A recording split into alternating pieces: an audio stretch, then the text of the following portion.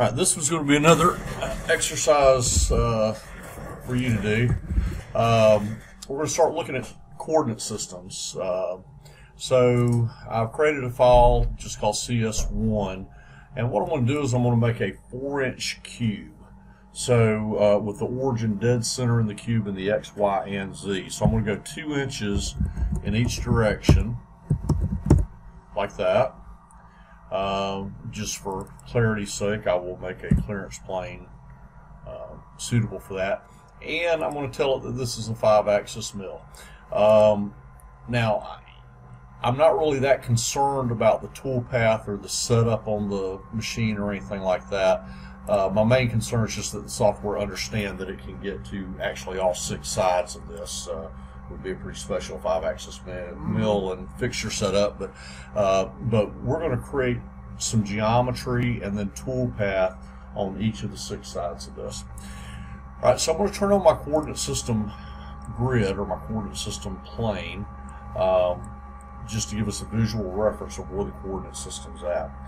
Now, if I were actually doing this, my origin would probably be on the top surface up here, but for the sake of the exercise, I'm making the world origin just dead center in the block.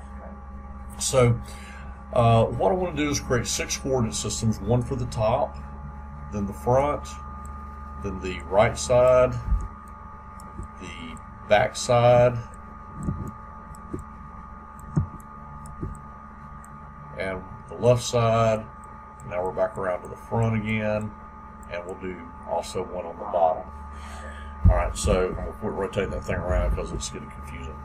Okay, now Gibbs, when you go to an isometric view, which the shortcut for that is Control I, uh, it's a 45 degree elevation, 45 degree rotation, which with a cube like this, and the origin in the center of the cube, the near corner, the far corner, and the origin are all in a line, which makes perspective awkward. Uh, so I typically in a situation like that would kick the part around just a little bit. But uh, another thing that I'm going to do is I typically don't rotate the part around to face the different sides as I'm going. It's very easy to get lost as far as which side you're looking at. If you know that you're in an isometric view, you know that this is the top up here and this is the front here, and then you can you can make sure that all these coordinate systems are going where they need to go. Uh, so top, front, the right side, the back side, the left side, and then the bottom or is the order that I'm going to do it in. So I'm going to open my coordinate system list. Um, I'm not going to change the XY plane. I'm going to create one, two, three, four, five, six new coordinate systems. And I like to name my coordinate system, so I'll go ahead and call that one top, front, right, oops, right, and by the way, to rename these, you have to select the coordinate system first, and then usually another click to, to type in over it.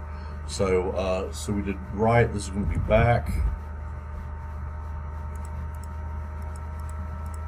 This will be left, and this will be bottom. All right, so I've named these, but I haven't done anything with them. They are all still exact duplicates of the XY plane. Anytime you click the button to create a new CS, the new CS is always going to be an exact duplicate of whatever coordinate system was active when you click that button. So now I need to manipulate these coordinate systems to put them where I want them to be. And that's done with the coordinate system palette, or the CS palette, which looks like this. Now, the CS palette is specifically for manipulating user coordinate systems. If I go to the XY plane to the world coordinate system, uh, coordinate system number one, all these tools gray out. You can't you can't use these to manipulate coordinate system one, but uh, user coordinate systems can be manipulated here. All right, so my strategy here is I want each coordinate system where it is on the face that it applies to, and when you're looking at that face from a normal direction, the left top left rear corner is the origin. So this coordinate system, I need the origin to be this corner. When I flip the one for the front, the origin is going to be this corner because it'll be on this face here. and the top left rear corner would be there. And then we're just rotating like this, so the right side is going to be this corner up here. When we get to the back side, it's going to be this corner here. We get to the left side, it's going to be that corner there. And then from the top, when we go to the bottom, we're just going to roll it around like this and roll it in the X, and it's going to be that corner there. All in big top left. Top left corner. Okay, now I'm going to do, uh, I want to change probably three of these uh, using one method, and then I'm going to uh, go back and show you a better way to do it. But to start off with, let's look at move origin, um, or change origin, sorry, change CS origin. Uh, the first thing that you'll notice is that there are two modes that you can change in. You can change in XYZ or HVD. Uh, a lot of people talk about XYZ as being absolute and HVD as being incremental, and in some ways that's that's accurate. Uh, but XYZ means relative to this plane. So you're moving the origin to a location relative to this coordinate system. Uh, so anytime you see an XYZ designation, it, it really means relative to the XY plane. Anytime you see HVD, which stands for horizontal, vertical, and depth, it means it's relative to whatever coordinate system is active. Uh, so uh, the difference is, let's move this origin one inch in the x-axis in XYZ mode, and it moves one inch over. If I hit this button again, it doesn't go anywhere because it is already at x one inch measured from this origin. Okay. By the same token, if I tell it to go to 000 in XYZ, it goes to that origin, which is a good thing to keep in mind if you ever get lost manipulating a coordinate system. Okay, let's do the same thing in HVD mode. If I do it in HVD mode, then this one inch is still labeled X, but this but in HVD it means it's relative to the active coordinate system. So it goes to the exact same place. But if I click the button again, it goes because it's always moving an inch from where it is in this case. If I go to zero, it doesn't go anywhere because it's already there. And to take it back where we know where it's at, I'm just going to do it in XYZ to zero and take it back to that origin. Okay, so with that in mind, I'm going to change a couple of these origins. I'm going to manipulate a couple of these origins in XYZ mode. Uh, so we're on the top, so it's already oriented the correct way. It's oriented to the top of the part. I just need to move the origin x minus 2, y positive 2, and z positive 2 to get to that corner. So x minus 2, y2, z2, and it should go to that corner right there. Okay? Now I'm going to go to the front. The first thing I want to do is get it positioned, get it oriented. Uh, and so the front is the XZ plane. So that tips it up to the front. Now I need to move it X minus 2, Y minus 2, Z positive 2. So I've got to change the Y to a minus 2. And it goes to the correct corner. I'll go to the right side. I'm going to stand that up in the YZ plane, which faces the right side. Okay, I need to move it X positive 2, y minus 2, z positive 2 to get it to that corner there. So this changes to a positive 2. The point that I'm making is that every face on here has an origin at a different corner. Um, so, uh, except for the, the top and the left side both have that corner as the origin. But other than that, the origin is on a different corner for every face. Uh, so therefore, if you're moving it relative to a fixed location, fixed to the y, uh, fixed to the xy plane, they're all at different positions. They're all at different values in here. So that means I'm having to change for every. You know, I'm having to change numbers for every origin that I do. So let me undo back to here. All right and I'm going to do this instead in HVD mode. Okay? Because if you think about it, if you're looking straight down on this, every origin is getting moved to the left two, back two, and up two. So if I go minus two, two, and two here in HVD mode, we go back to the isometric view. move this around just a little bit, and say do it, it goes to the correct corner.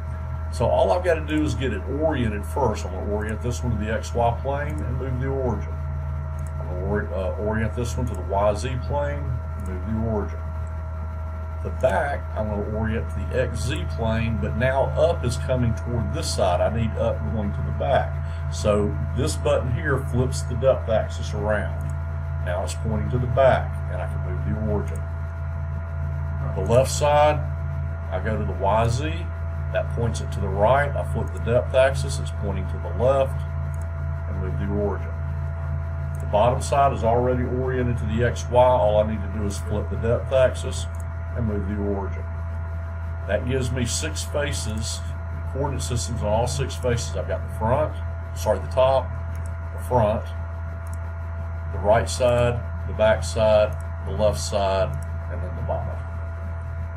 Okay, so now what can I do with that? I'm to open my geometry palette. I'm going to go to shapes. I'm going to go to text for engraving. Uh, I'm to select a font that uh, that will work for me here. Let me come down. I think it's in the second set. Uh, yeah, I'm just going to use this comic just because I like it. And I'm going to just do a number one. Uh, I'm going to align that to x2, y minus 2. Remember, since the corner's the origin, I want it over 2 and down 2. And I want that to be the center of my text. And I want that to be in this coordinate system. Okay, now that's a bit small, so let me, that's a 4 inch face. Let's go ahead and make a 3 inch letter. There we go. All right, now I'm going to switch to the front coordinate system and do a 2. I'm going to switch to the right coordinate system and do a 3. Oops. Don't hit enter. Enter will not activate do it. Enter adds another line of text. So if I do that, the center of two lines of text is at the center of that face. It doesn't give me what I what I wanted. Uh, so let me backspace to take that second line out. And there's our three. We're going to go to the back side and do a four. Go to the left side and do a five. And go to the bottom and do a six. All right. Now notice that geometry that is in an inactive coordinate system is purple. So that's just another visual cue as to what is associated with or what is assigned to the active coordinate system. All right, let's look at creating toolpath on this.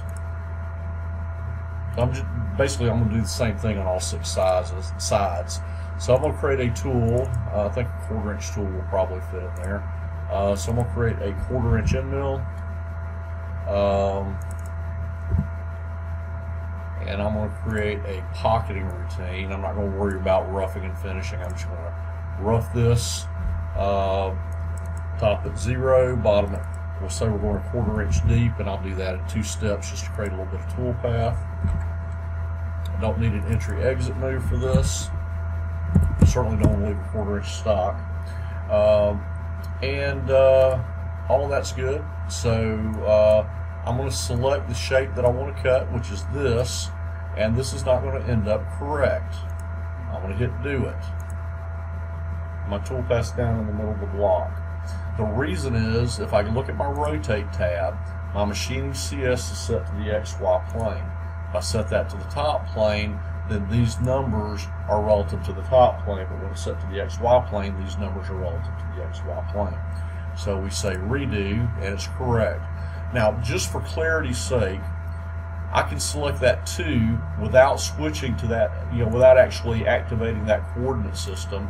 And as long as I set the machining CS to the front side, it will do the toolpath correctly. However, I prefer to actually activate the coordinate system just as my final verification that the, the geometry is, is what I think the geometry is. Uh, so we're going to go to the right side, do it. We're going to go to the back side.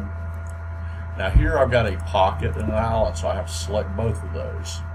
And we will do it. I'll change my machining CS to the left side. Select the 5. and switch it to the bottom side. Again, this is not, you know, changing the actual active CS is not necessary. To me, it's just, it changes that, that geometry to blue and just helps me verify that I'm, machi- I'm machining what I think I'm machining. Um, so I select that and we will say do that. Again, I've got a pocket and an island on both the four and the six. But that part's machined. So let's see what it looks like. I'll slow it down a little bit. Travel limit exceeded. Okay. So what I'm gonna do is I'm gonna go to document control, go to machine setup, and make sure that neither of these, uh, sorry, make sure that neither of these have an axis limit. And we will rewind, close this.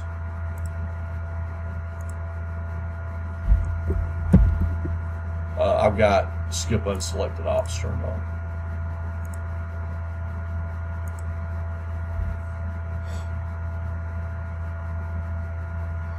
And of course, I've got it on fixed park, so the park stays still. The tool's going to rotate around that. Uh, I could go to the point of view lock right here and tell it to do machine orientation. And what it will do now is rotate so that, uh, and, and we also see the X and Y moving. I need to reduce the distance from the wall on my helix.